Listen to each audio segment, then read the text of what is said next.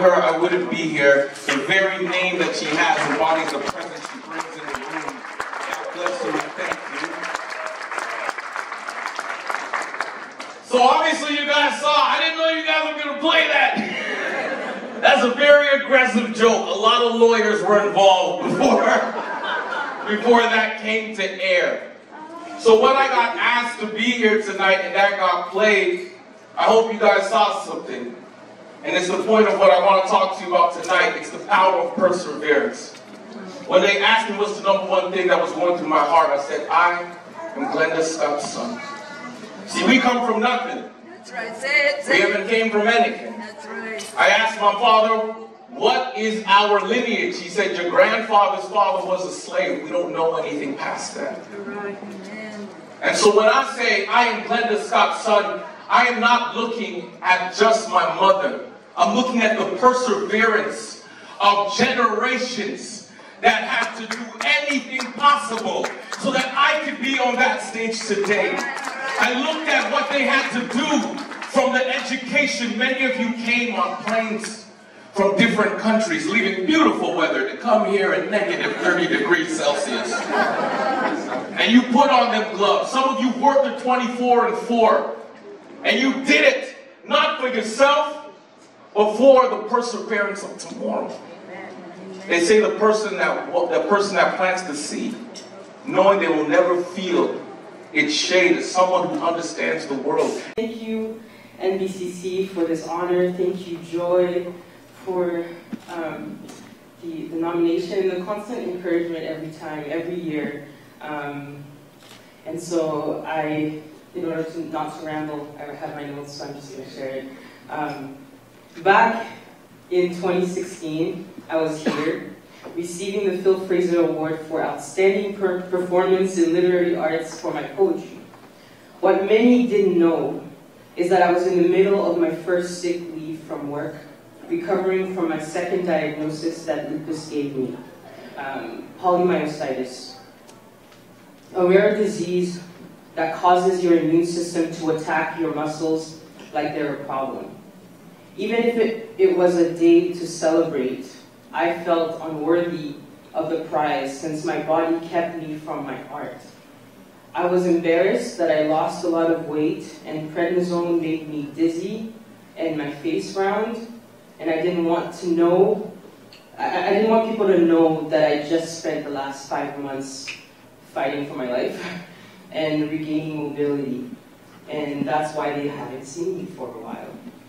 Lupus is a disease that known to have a thousand faces and predominantly affects black women, women of color. And in rare cases, it affects men, and they are at risk of, and, and for men experiencing lupus, um, they are at higher risk of experiencing seizures as a symptom. And I have shape shifted my way through this disease for over 10 years. And during the pandemic, there, there was a shortage of the medication that I depended on to, to remain able-bodied. Like I'm moving without pain because of the medications that I'm on, and during the pandemic there was a shortage. And the infusion that I used to get at an outpatient clinic at the U of A hospital had to be done at home and under the skin. And so I had to learn in less than a week how to become my own nurse. And the center that oversaw my care and taught me how to do so was the Dr. John Akabutu Center for Rare Diseases and Bleeding Disorders. And, uh, and this is why this award means so much to me. Um, yeah. Whew. Yeah.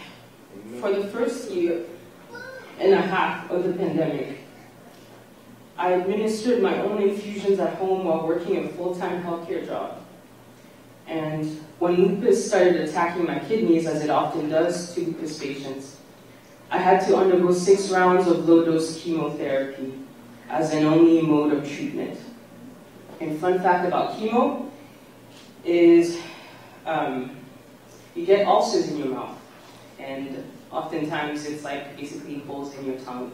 And that's what I was experiencing.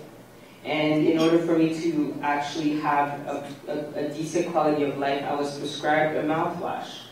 And guess who invented this mouthwash? Dr. John Akabutu.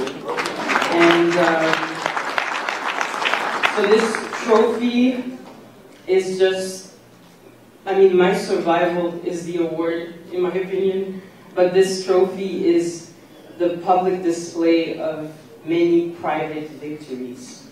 And many people celebrate me and call me resilient, but I am only as resilient as the support I receive.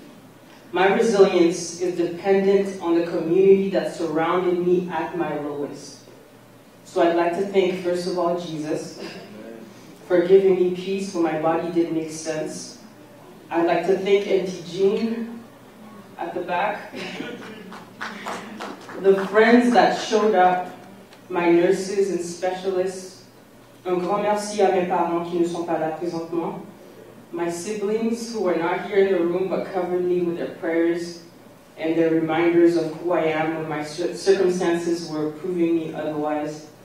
And my last thought is if you know someone who is struggling with lupus or another kind of chronic illness, please know that their resilience is dependent on your willingness to extend your strength to them.